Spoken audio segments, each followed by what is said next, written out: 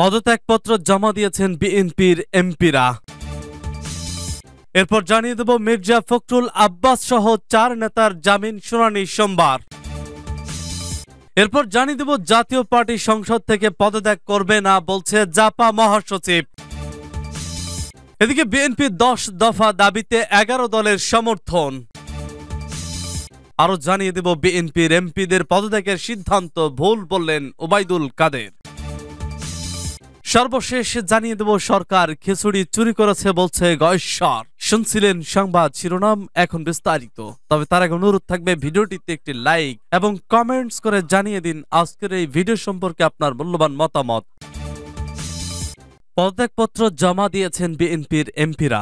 একাদশ জাতীয় সংসদ নির্বাচনে বিএনপি থেকে নির্বাচিত সংসদ সদস্যরা পদত্যাগপত্র জমা দিয়েছেন। রোববার বেলা এগারোটার দিকে জাতীয় সংসদ সচিবালয়ে গিয়ে পদত্যাগপত্র জমা দেন তারা। এর আগে গতকাল শনিবার রাজধানীর গোলাপবাগ মাঠে দলের ঢাকা বিভাগীয় গণসমাবেশে বিএনপির এমপিদের পদত্যাগের কথা জানানো হয়। বিএনপির সাত এমপির মধ্যে পাঁচজন সংসদে এসেছেন, বাকি দুইজনের মধ্যে ব্রাহ্মণবাড়িয়া দুই আসনের উকিল আব্দুস সাত্তার গুরুতর অসুস্থ চাপায় নবাবগঞ্জ তিন আসনের হারুনার রশিদ দেশের বাইরে থাকার কারণে তিনি আসতে পারেননি। তবে তারা পদত্যাগপত্রে স্বাক্ষর করে হুইপ রুমিন ফারহানার মাধ্যমে পাঠিয়েছেন।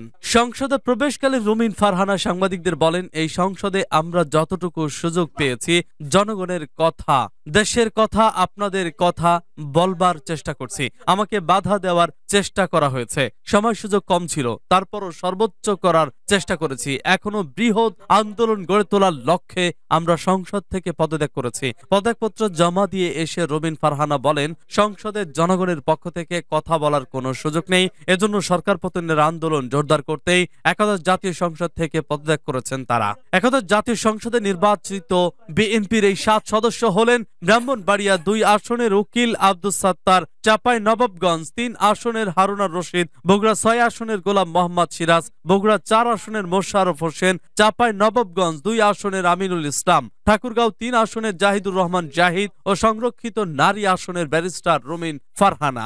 একাদশ জাতীয় সংসদ নির্বাচনে বিএনপি নেতৃত্বাধীন ঐক্য ফ্রন্ট থেকে আটজন সংসদ সদস্য নির্বাচিত হন। এরই মধ্যে বিএনপির ছয়জন এবং গণফ্রমের দুইজন।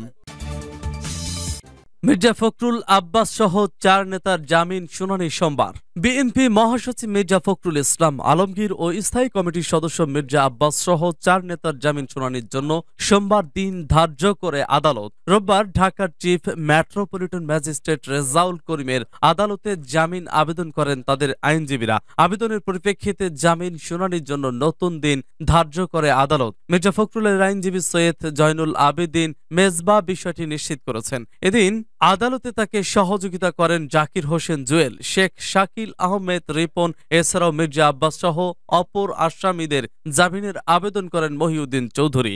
জামিন আবেদন করা অন্য দুজন হলেন বিএনপির কেন্দ্রীয় প্রচার সম্পাদক শহীদ উদ্দিন চৌধুরী অ্যানি ও ঢাকা মহানগর দক্ষিণের আহ্বায়ক আব্দুস সালাম। এর আগে বৃহস্পতিবার দিবাগত রাত তিনটার দিকে উত্তরার বাসা থেকে বিএনপি মহাসচিব মির্জা ফখরুল ইসলাম আলমগীর এবং শাহজাহানপুরের বাসা থেকে দলের স্থায়ী কমিটির সদস্য মির্জা আব্বাসকে তুলে নিয়ে যায় গোয়েন্দা পুলিশ।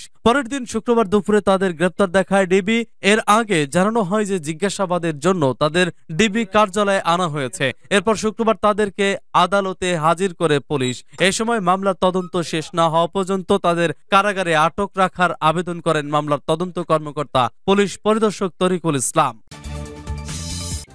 জাতীয় পার্টির সংসদ থেকে পদত্যাগ করবে না বলছে জাপা মহাসচিব।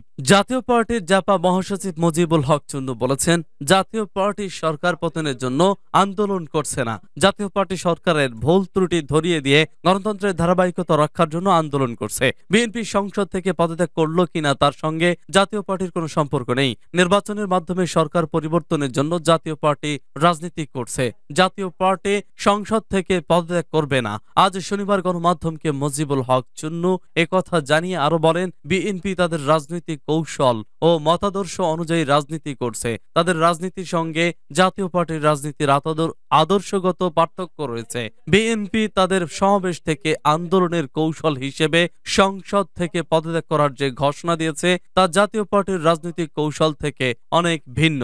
মজিবুল হক চুন্নু বলেন, বিএনপি সংসদ সদস্যরা তাদের রাজনৈতিক কৌশল অনুযায়ী সংসদ থেকে পদত্যাগের ঘোষণা দিয়ে জাতীয় পার্টির প্রতি যে আহ্বান জানিয়েছেন, সেই আহ্বানের সঙ্গে আমাদের কোনো সম্পর্ক নেই। জাতীয় পার্টির নিজস্ব রাজনীতি ও আদর্শ রয়েছে। সেই নীতি ও আদর্শ মতে রাজনৈতিক কৌশল ঠিক করে জাতীয় পার্টি আন্দোলন করছে। বিএনপি দশ দফা দাবিতে এগারো দলের সমর্থন। বিএনপি ঘোষিত দশ দফা দাবির প্রতি পূর্ণ সমর্থন জানিয়েছে এগারোটি রাজনৈতিক দল। এসব দলের সবকটি বিএনপির নেতৃত্বাধীন বিশ দলীয় জোটের শরিক। গতকাল শনিবার এক যৌথ বিবৃতিতে এসব দলের নেতারা বলেন, বর্তমান সরকারের পতন গণতন্ত্র পূর্ণ প্রতিষ্ঠা এবং তত্ত্বাবধায়ক। সরকারের অধীনে নির্বাচনের দাবিতে দশ দফা মুক্তির সনদ ঘোষিত হয়েছে। অবিলম্বে এসব দাবি মেনে নিয়েই দেশকে গণতান্ত্রিক ধারায় ফিরিয়ে আনতে সরকারের প্রতি আহ্বান জানিয়েছেন নেতারা। তারা আরও বলেন, আগামীতে বিএনপির যে কোনো কর্মসূচিকে বাস্তবায়ন করতে যুগপৎ ধারায় এবং যৌথভাবে তারা রাজপথে থাকবেন। বিবৃতিদাতারা হলেন, বাংলাদেশ কল্যাণ পার্টির চেয়ারম্যান মেজর জেনারেল অবসর Syed Mohammad Ibrahim, NPP chairman doctor Fariduzzaman Farhad, Bangladesh LDP মহাসচিব শাহাদাত হোসেন সেলিম প্রমুখ। বিএনপির এমপিদের পদত্যাগের সিদ্ধান্ত ভুল বললেন ওবায়দুল কাদের। আওয়ামী লীগের সাধারণ সম্পাদক এবং সড়ক পরিবহন ও সেতু মন্ত্রী ওবায়দুল কাদের বলেছেন বিএনপির সংসদ সদস্যরা পদত্যাগ করলেও জাতীয় সংসদের কিছু যায় আসে না। তাদের সাতজন চলে গেলে সংসদ অচল হবে না। বিএনপি সংসদ সদস্যের পদত্যাগের সিদ্ধান্তকে ভুল আখ্যায়িত করে তিনি বলেন, জাতীয় সংসদে আওয়ামী লীগের বিশাল সংখ্যাগরিষ্ঠতা আছে। বিএনপি সাতজন চলে গেলেও সংসদ অচল হয়ে পড়বে, এটা ভাবার কোনো কারণ নেই। এজন্য দলটিকে অনুতাপ করতে হবে। ওবায়দুল কাদের শনিবার সাভারের রেডিও কলোনি স্কুল অ্যান্ড কলেজের মাঠে আয়োজিত জনসভায় এসব কথা বলেন। বিএনপি জামায়াতের ষড়যন্ত্র, মিথ্যাচারের প্রতিবাদে সাভার ও ধামরাই উপজেলা আওয়ামী লীগ ও আশুলিয়া থানা আওয়ামী লীগ এই জনসভার আয়োজন করে। সরকার খিচুড়ি চুরি করেছে বলছে গয়েশ্বর। আওয়ামী লীগ সরকার বিএনপির নয়াপল্টনের দলীয় কার্যালয় থেকে খিচুড়ি চুরি করেছে বলে মন্তব্য করেছেন বিএনপির স্থায়ী কমিটির সদস্য গয়েশ্বর চন্দ্র রায়। শনিবার রাজধানীর গোলাপবাগ মাঠে ঢাকা বিভাগীয় গণসমাবেশে তিনি একথা বলেন। গয়েশ্বর চন্দ্র বলেন, তারা বলছেন, নয়াপল্টন থেকে তারা চাল, ডাল, খিচুড়ি সহ অনেক কিছু উদ্ধার করেছেন। আসলে তারা নয়াপল্টন থেকে খিচুড়ি চুরি করেছেন। গণতন্ত্র বন্দী জনগণ বন্দী খালেদা জিয়াও বন্দী এমন মন্তব্য করে বিএনপির স্থায়ী কমিটির এই সদস্য বলেন, তারেক রহমান, আজ সশরীরে না থাকলেও তার ভয়ে কাঁপছে সরকার। সময় হলেই তিনি দেশে ফিরে আসবেন। গয়েশ্বর বলেন, সংসদ থেকে যে সাতজন সংসদ সদস্য পদত্যাগ করেছেন, তারা আমাদের এক এক একটি বোমা।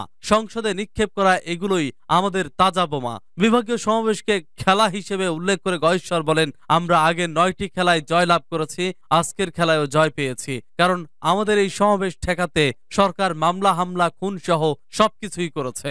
আজ ঢাকায় সবকিছু বন্ধের জন্য সরকারি দায়ী উল্লেখ করে তিনি বলেন, রাতে নয়, আমরা সব কাজ দিনেই করি। আমরা শান্তিপ্রিয় মানুষ, শান্তির জন্য আমরা অস্ত্র হাতে লড়তেও জানি। সেইসিকে উদ্দেশ্য করে গয়েশ্বর বলেন, এখনও সময় আছে, আপনি মানে মানে কেটে পড়েন। রাষ্ট্রপতিকে উদ্দেশ্য করে বলেন, আপনি মন্ত্রিসভা ভেঙে দিয়ে নতুন একটি নির্বাচন দিন। গয়েশ্বর চন্দ্র রায় বলেন আমি বলেছিলাম দশ তারিখের গণসমাবেশ থেকে সরকারকে বলে দেওয়া হবে, আপনারা কোনো পথে যাবেন না। আপনারা কোন পথে যাবেন? যদি না যান, তবে আপনাদের বিদায়ের ব্যবস্থা করা হবে। তিনি বলেন, বাংলাদেশের মানুষ ভয় পান না। তিনি আরও বলেন, বাংলাদেশের মানুষ কখনো ভয় পায় না। তারা যুদ্ধ করতে জানে, তারা গণতন্ত্রের জন্য যুদ্ধ করে দেশ স্বাধীন করেছিল। গণতন্ত্রের জন্য বাংলাদেশের মানুষ আবারও যুদ্ধ শুরু করেছে। স্বৈরাচারের বিরুদ্ধে আন্দোলন করে কারাগারে গিয়েছিলেন। খালেদা জিয়া উল্লেখ করে তিনি বলেন, আজ তিনি গণতন্ত্রের জন্য বন্দী আর সেই বন্দী গণতন্ত্র থেকে মুক্তি পেতে আন্দোলনের ডাক দিয়েছেন বিএনপির ভারপ্রাপ্ত চেয়ারম্যান তারেক রহমান।